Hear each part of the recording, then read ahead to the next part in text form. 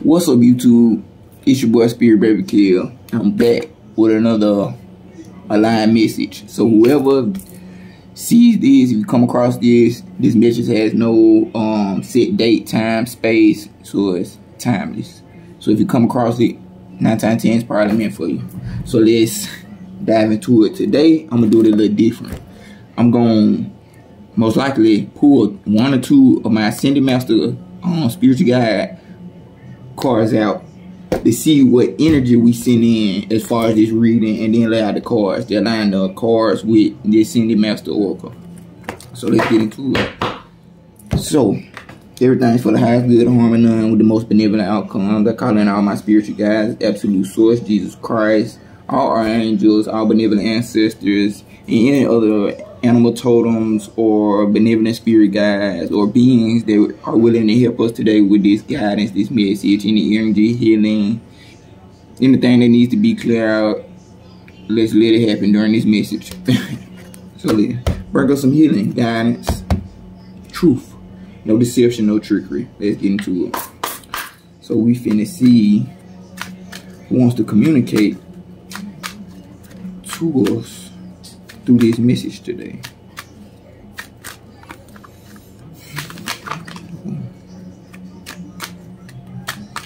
Like I do, I do, I do. Everybody do. I do, I do. Mahavartar Babaji, Soul Expansion. I don't know who this is. I have to look into him after I get off of here. Mahavartar Babaji, soul expansion. Your consciousness is expanding. You understand that the connection between, you understand the connections between all things. So it is like it's sending in Radha, soul flame. Mm. Rediscover a lost part of yourself. Experience relationship, harmony, and healing. So Radha, soul flame, and Mahavarti, Mahavartar, Babaji, soul expansion. So we get some energy right now. You expanding, you connecting with them lost parts of yourself so you can be able to experience the right relationships, the right healing, the right love. Radha. So we're gonna read on them in a minute. Soul expansion and soul healing. The Queen of Pentacles jumps. She's like, hey, me. so there. Trying to shuffle so fast. Queen of Swords. Mm. effectively communicating. As your soul and your spirit is healing, communicating to those people that you might need to cut off, communicating to those people that might need to know that you ain't on the same type of time. Communication. Clear communication. Ooh transitions as your soul expands and as your you re rediscover lost parts of yourself. You're being guided through these transitions, through these deaths and rebirths, as you would say. Ooh, Eight of Swords. Tangled energy. And the last is the moon. So we just gonna go with the moon. I've been getting the moon a lot lately. Okay. So we're gonna start out with these, the city masters we had Mahavarti Babaji. I gotta learn that name so perfectly because at the moment I don't think I'm saying it right. Soul expansion. Your consciousness is expanding. You understand the connections between all things. Mahavatar means great incarnation or avatar, and Babaji means sacred father. Mahavatar Babaji is a deeply respected master yogi who was introduced to the world through the teachings of the Indian yogi Paramahansa. Oh, Pra Mahansa Yogananda. Babaji, as he's called for short, is said to be over 2,000 years old and able to travel between Earth and other worlds. He is said to have an invisible temple in the Himalayas that can appear to those he wants to connect with. Many believe that he is Christ-like himself, bringing deep love, acceptance, forgiveness, insight, and direction. You may feel that you retreated from the world recently. Mm, maybe you've not been as actively socially or spiritually, but the time of inner rest has really paid off. You are becoming more and more consciously aware of how connected you are to God and all living beings. This sense of union is called yoga. Yoga goes beyond physical ability and into a sense of awareness that's created through spiritual practice, meditation, and devotion to the divine.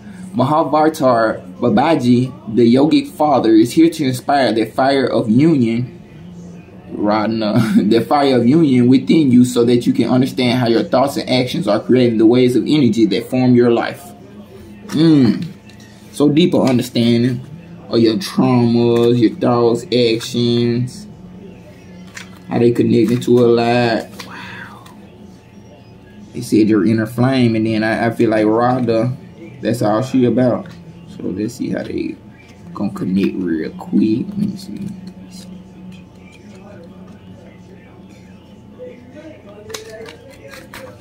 Radha, soul flame. Rediscover a lost part of yourself. Experience relationship harmony and healing. The Hindu goddess Radha is the divine feminine counterpart and twin flame of Krishna. she is considered to represent Shakti, Shakti, the divine feminine creative spirit of the universal life force. Without the feminine, the male cannot be created. And for this reason, Shakti is a powerful force that is honored and cherished. Radha is completely devoted to her partner and illustrates the age-old adage, behind every powerful man is a powerful woman. She is dedicated to supporting all those who seek relationship harmony and healing. At one point, she learned what it is like to be separated from Krishna, and so she can also bring great healing to those who are suffering the loss of a partner or separation. Mm.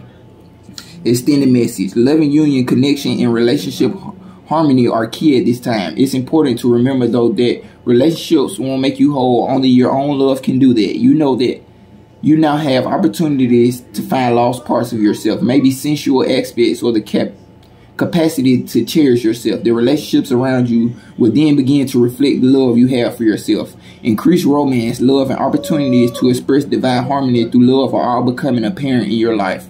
You deserve divine love, and Radha with her Shakti presence is here to awaken this loving connection within you now. Mm. Thank you, Radha. Thank you, Mahavar Baji. Bring us any guidance, healing, activations, or anything else you want to bring us.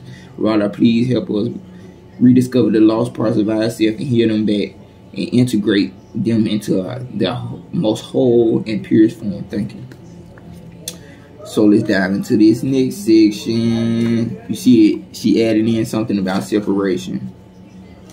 And so the first card we had was the Queen of Swords.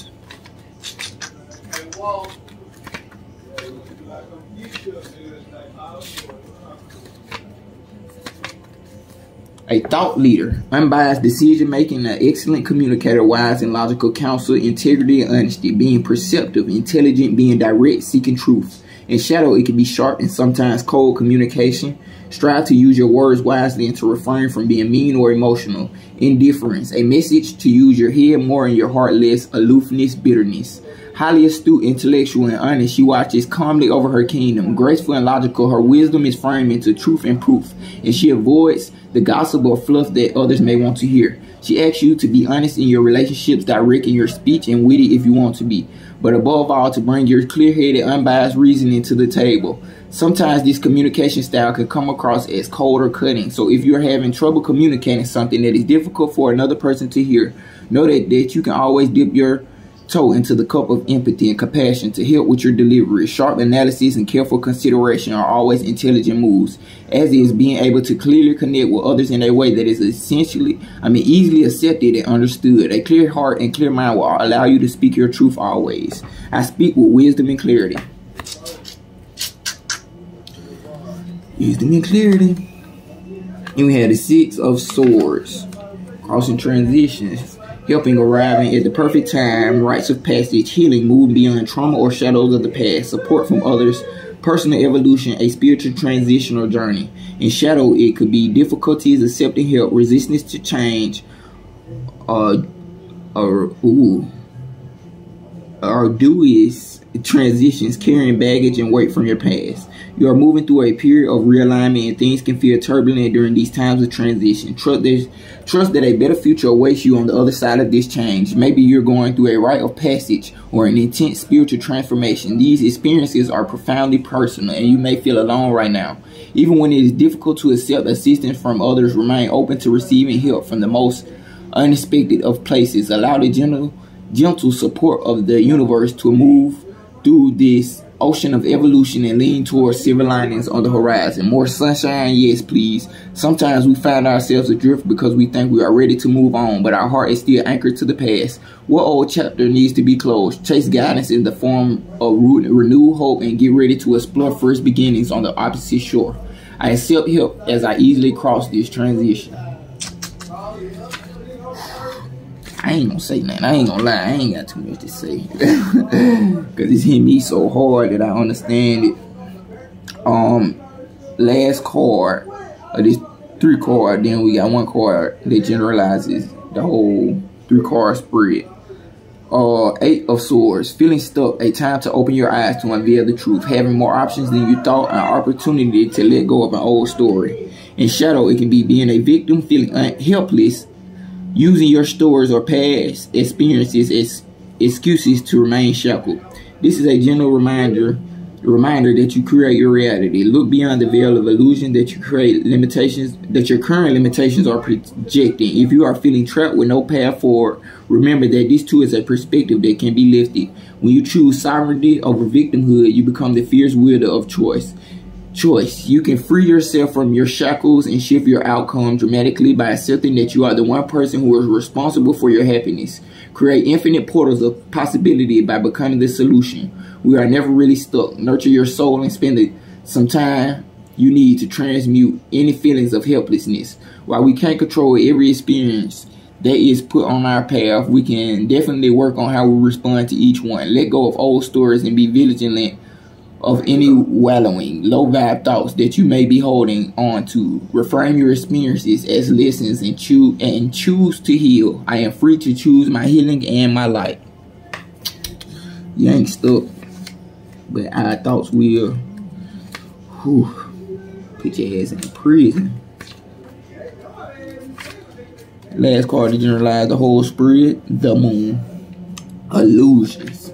So really this whole thing is telling me that like ascending beyond the illusions and limitations we created for ourselves and picking the pieces up of yourself. That's really what it's saying. The moon illusions, hidden truths, the unknown, trusting your intuition, facing your fears, the watery nature of the unconscious mind, mystery, symbolism and symbolism and metaphor, perception, uncertainty and dreams. In shadows, it could be fears that block you, difficulties separating reality and illusion, linear thinking, inability to process a spiritual or mystical experience, mental confusion, misinterpretation, anxiety, and fear. When we're faced with uncertainty and illusion, it can feel like we are drowning. Trust that you will be okay, even if you can't seem to distinguish up from down right now. When you stop struggling to see that which you simply cannot see because it remains obscured, obscured behind shadows of the moonlight, you will experience a deep release that will allow you to float to the surface of your truth. The moon card asks you to go within and find comfort in the darkness and to listen and to calmly listen to the whispers of your own intuition. There is divinity and magic here. When you fall into the moon still waters, your inner wisdom will embrace you and push you towards the light. She will re reinvigorate your creativity and re Resert your spark as long as you go beyond your own fears and find her. Dive into her healing embrace. Breathe past insecurities and let her dimly lit magic guide you home. I am safe and I reach new levels of unconscious knowing as I surrender to the will of the universe. Expansion and soul igniting. Thank you for tapping in. It's your boy Spirit Baby Kid. Spirit Baby Kid here. everywhere. Uh, Insomniac Dreams 369.com for personal message and other things. Tap in. Thank you.